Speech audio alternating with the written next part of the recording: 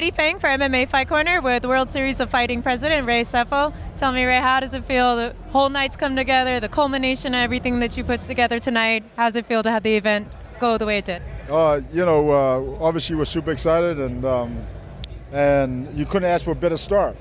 You know, a packed house, everybody came uh, to, and delivered.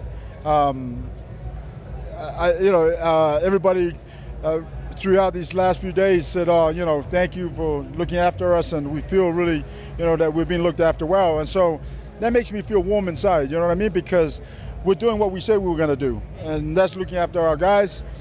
And obviously, this is the beginning for us. You know, and uh, we're just going to take things slow and, and build on what we just did and and get better and better all the time.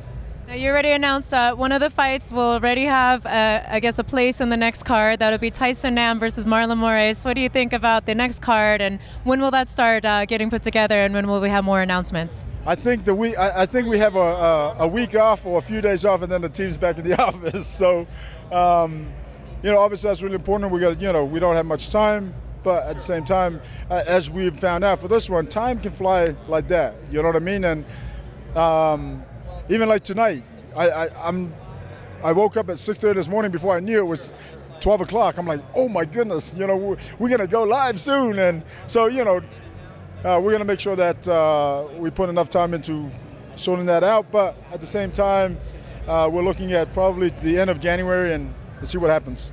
And will it be here also, the same location? Is that the plan? That yeah, that is the plan for now. Obviously, for us, you know, we want to. Um, do things right and, and get better as we go along.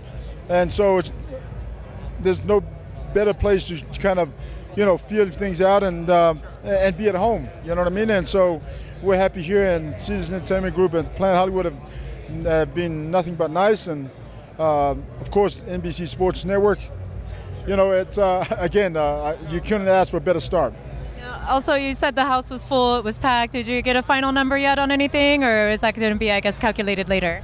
I think that probably we'll find that out later. But uh, you know, when I turned around and uh, I, saw you know every seat had somebody in it, so that was you know that made me smile. So yeah, I was happy about that.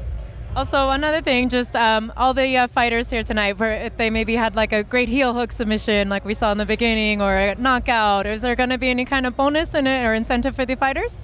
You know, we, we, we did talk about it, and obviously we're going to uh, finalize that soon. But I mean, that's the other thing. Uh, tonight we were we were so excited and happy about the fact that all the guys came and delivered. In terms of we, you know, we saw submissions, we saw knockouts, we saw fights go the distance. You know what I mean? We saw controversial decisions. So you know that's part of what we do, and so uh, you couldn't ask for a better start. Well, I'm going to let you get back to doing all the presidential things that you need to handle, and I hope to speak to you very soon, Ray. Thank Congratulations. You. Thank you.